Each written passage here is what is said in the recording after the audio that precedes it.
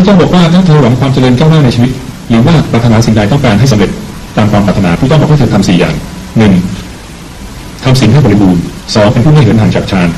สามประกอบพร้อมด้วยวิปัสสนาสี่ให้สัญญาปราวัตงอกงามทำสี่อย่างพวกนี้ปรารถนาอะไรจะสำเร็จหมดนั้นเราว่าเราก็สิ่งห้าไม่เหินห่างจากฌานยากไหมพระเจ้าก็บอกว่า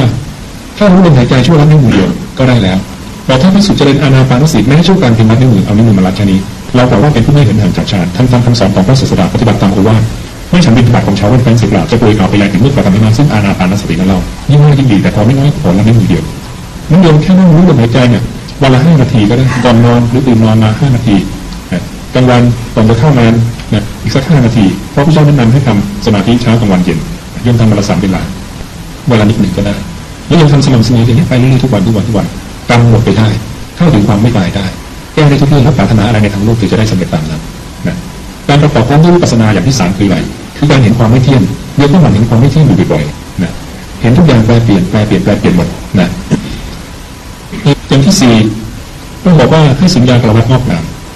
ก็คือให้วิเวกอีกเล่นบ้านนะเรือนว่างโคนไม้ท้องท่านเชื้อผาป่าช้าป่าช้าที่แจ้งหมอกฟังสถานที่วิเวกเนี่ยให้เราเข้าไปนะทำสมาธิภาวนา เรียนบ้านทั้งที่บ้านเราก็ได้ที่ว่างจากผู้คนในห้องน้ำเงียบๆรู้ลมาใช้เข้าออกแค่นั้นเองพอแล้วนะห้านาทีสิบนาทีใครมีเวลามากกว่านั้นก็เอา